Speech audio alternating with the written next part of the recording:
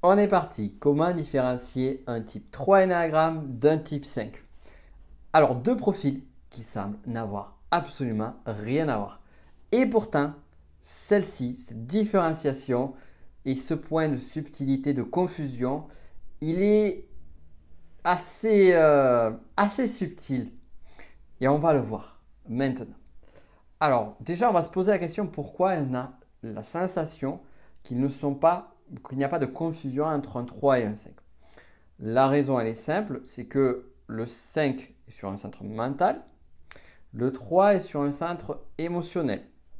De même, le 5 va être orienté sur ses ressources, le 3 va être orienté sur sa valeur, avoir de la valeur vis-à-vis du groupe. Bon, je ne vais pas rentrer dans les détails, mais si tu connais les différentes subtilités, tu verras qu'il y a pas mal de différenciations. Et autre point clé, eh bien, euh, on n'a pas, le 3 n'est pas une aile du 5 et vice-versa, et on n'a pas de flèche entre l'un et l'autre. Donc on pourrait dire vraiment rien à voir. Et pourtant, et pourtant, j'ai vu nombre de confusions entre le 3 et le 5. J'ai moi-même, sur des typages, euh, commis des erreurs, il faut le dire, tout le monde connaît des erreurs de typage, entre des 3 et des 5. Et je me rends compte que sur certaines personnes, il m'a été difficile de lever le voile entre le 3, le 5 et parfois le 6 aussi à côté. Mais ça, on en parlera quand on fera le, 3 et le 6. Bon, alors, on va se poser la question du pourquoi. Ici, en fait, comme le 3 et le 5 sont très différents, ce n'est pas en termes de monde intérieur que l'on va avoir cette confusion-là, c'est en termes de monde extérieur, de ce qui transparaît vers les autres.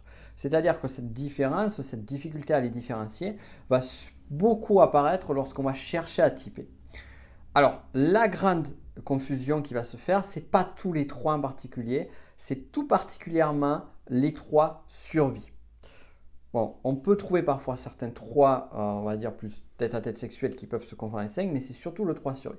Et du côté des 5, on peut voir aussi que le 5 survie à certains points, le 5 social, mais aussi le 5 tête-à-tête peut faire penser à du 3.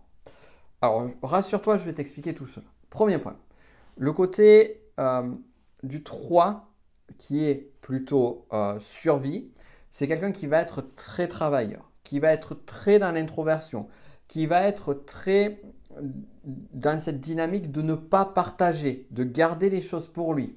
Et là, on a l'impression de retrouver l'avarice du 5. Surtout qu'on va voir quelqu'un qui va être très focalisé sur le sujet lié à l'argent, aux ressources.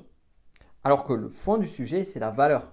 C'est par son travail, c'est par sa capacité à faire de l'argent, à réussir des objectifs concrets, matériels, factuels, qu'il va rechercher la reconnaissance. C'est là où c'est où on voit le 3. Mais la vanité du 3 va être plus difficile à voir ici. On va le voir plutôt dans cette notion d'agir, de faire, de concret, concret, de passer à l'action, de ne jamais s'arrêter. Un workaholic, comme on dirait en anglais, un travailloman, vraiment sur, sur cette approche-là, sur le 3 survie. Le 5 maintenant. Sur le 5, on peut remarquer que sur le 5 sexuel dit tête à tête, on va avoir une énergie qui va être plus compétitrice. Et d'ailleurs, petite parenthèse, tous les sous-types qui vont être liés à un instinct type sexuel tête à tête, il va y avoir cette notion de compétition. Et cette, notion de compétition déjà peut amener des confusions possibles avec du 3 et voire parfois avec du 8. Ça, on en parlera sur le 4 tête à tête sexuel et le 8 en particulier. Mais concernant le 5, concernant le 5 sur cet aspect-là, eh bien, c'est des personnes qui, justement, vont être des personnes qui vont être efficientes, qui vont arborer une forme d'énergie qui pourrait être une énergie liée au 3. Sauf qu'on ne va pas retrouver la vanité, c'est-à-dire cette vaine gloire, c'est-à-dire cette énergie qui est que, eh bien, euh, je vais chercher à montrer une image plus belle, supérieure à celle que j'ai. C'est là où vraiment va se faire différenciation et bien évidemment tous les aspects comportementaux, tous les aspects inconscients qui sont présents sur le 3 et le 7, 5 permettront de faire la différence. Mais il arrivera, il arrivera forcément à un moment donné où tu vas avoir des personnes dans ton entourage ou des personnes sur, le web, sur des livres, sur bref, une personnalité ou une personne que tu connais ou un personnage sur lequel tu auras un doute entre le 3 et le 5. Et ça, je peux te le garantir. Et lorsque tu auras le doute, ça ne voudra pas dire que la personne est 3 ou 5. Ça voudra juste te dire, il faudra revoir peut-être cette, vidéo et aller creuser un petit peu plus. Si tu veux aller plus loin avec moi, justement pour voir toutes ces subtilités-là, je t'invite, si tu ne m'as pas déjà rejoint, à aller sur ma masterclass 100% gratuite. Le lien dans la description, c'est le tout premier lien. Et on va voir en détail tout cela. Les, justement, les passions, la partie émotionnelle, j'ai parlé de la vanité sur le 3. On va voir l'avarice du 5, les visions du monde et bien d'autres choses encore. Allez, je te laisse regarder le lien dessous. On se retrouve de l'autre côté.